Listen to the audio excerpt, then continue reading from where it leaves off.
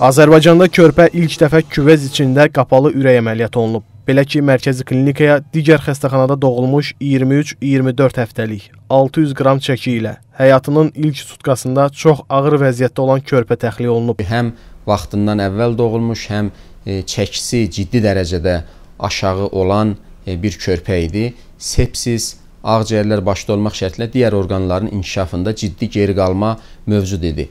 Hər şeydən əvvəl onu qeyd edim ki, ümumiyyətlə 24 həftəlik hamiləlikdən 600 qram ağırlığında doğulmuş körpələrin e, yaşamaq şansı bütün dünyada olduqca çox azdır. Bu ancaq çox e, yüksək səviyyəli neonatoloji xidmətin olduğu klinikalarda mümkün olur. E, bu uşağımız da bu məqsədlə körpəmiz bizə təxliyə olundu və neonatoloqlarımız bu uşağın müalicəsinə və müayinəsinə başladılar. Baş həkimin sözlərinə görə müayinə nəticəsində körpədə yalnız vaxtından əvvəl doğulma, çəkidə geri qalma deyil, sepsis başda olmaqla ağciyərlərində inkişafdan geri qalma və ürəkdə anadan gəlmə qüsur aşkarlanıb. Müalicə zamanı körpənin ümumi vəziyyəti yaxşılaşsa da, onu süni nəfəs aparatından ayırmaq mümkün olmayıb. Çünki anadan gəlmə ürək qüsuru olmasından səbəbilə ürək ağciyər kompleksinin funksiyalarını normallaşdırmaq bir mənalı şəkildə mümkün olmurdu.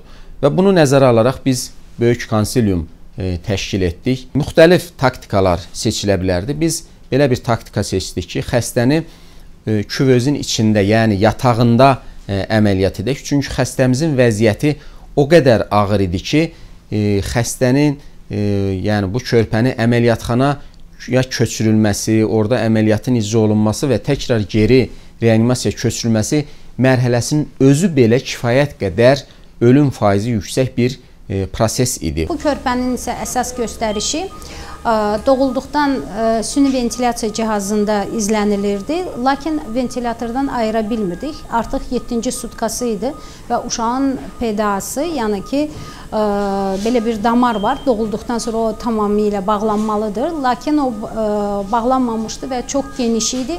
Ona görə biz körpəni ventilatordan ayıra bilmirdik, öz tənəffüsünə keçirə bilmirdik.